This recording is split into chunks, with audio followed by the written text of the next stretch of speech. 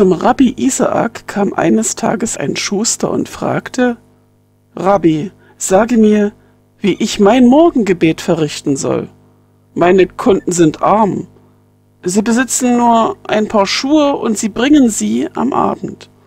Und ich arbeite die ganze Nacht, bis sie zur Arbeit gehen. Deshalb sage mir, wie soll ich denn mein Morgengebet verrichten? Was hast du denn bisher gemacht? fragte Rabbi Isaak.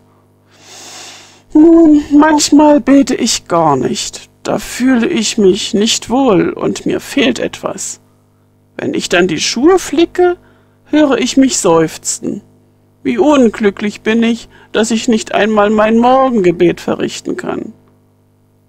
Der Rabbi strich sich den Bart und sagte, Mein Lieber, wenn ich Gott wäre, würde mir dein ehrlicher Seufzer mehr wert sein als das Gebet.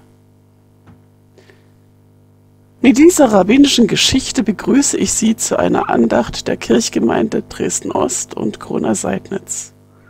Mein Name ist Simone Poling, ich bin Gemeindepädagogin. Der Sonntag Rogate fällt dieses Jahr auf den 9. Mai. Eigentlich gibt es zu Rogate immer ein großes Event der Frauenarbeit, das Rogate Frauentreffen. Eine Begegnung mit Frauen aus der Region zu einem besonderen Thema mit Gottesdienst und Gesprächen, Begegnungen mit lange nicht gesehenen Gesichtern oder mit neuen Bekanntschaften. In welcher Form das in diesem Jahr möglich ist, wird sich an den Hygienerestriktionen orientieren. Vorgesehen ist, dass in Dresden-Neustadt in der Dreikönigskirche 19 Uhr ein Gemeindegottesdienst zum Thema Kriegerinnen, Richterinnen, Prophetinnen stattfindet. Im Mittelpunkt steht die Geschichte von drei Frauen im Buch der Richter. Rogate. Betet. Laut oder leise gemeinsam oder mit anderen, frei oder mit geprägten Worten. Betet. Rogate, Ermutigung zu Gebet und Fürbitte. Das Gebet steht unter der Verheißung des Wochenspruchs. Gelobt sei Gott, der mein Gebet nicht verwirft. Auch wenn es nur ein Gebetsseufzer ist, wie bei dem Schuster, der Rat bei Rabbi Isaak suchte.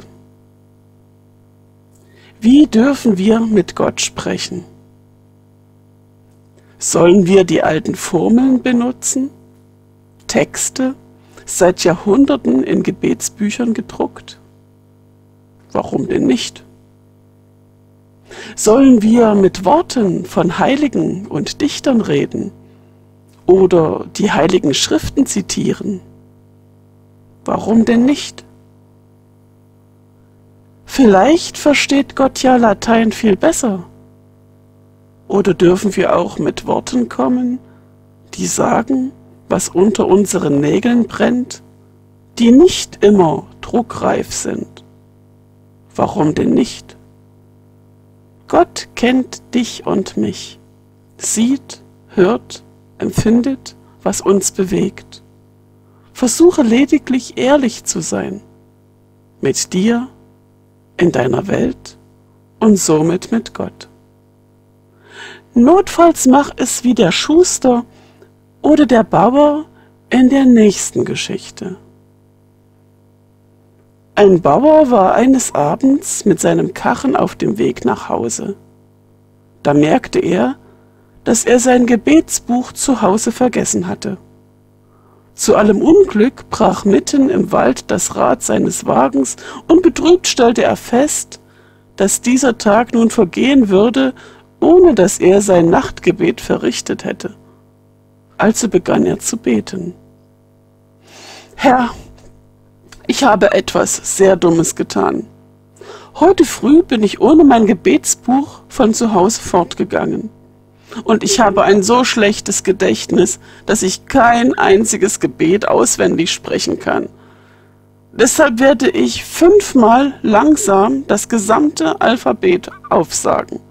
Und du, der du ja alle Gebete kennst, kannst dir all die Buchstaben ne nehmen und dir daraus die Gebete machen, an die ich mich nicht erinnern kann.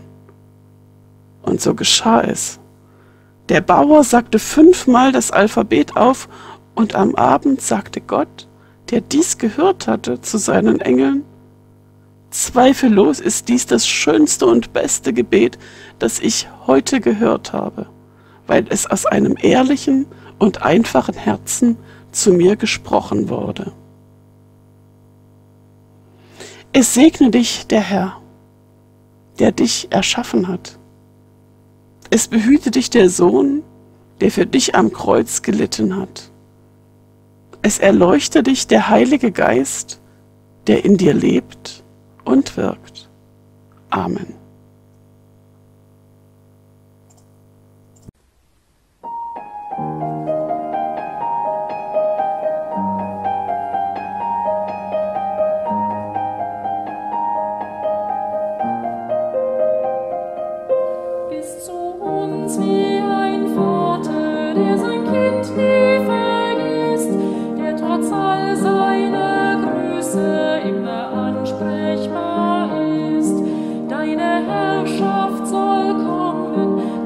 du willst.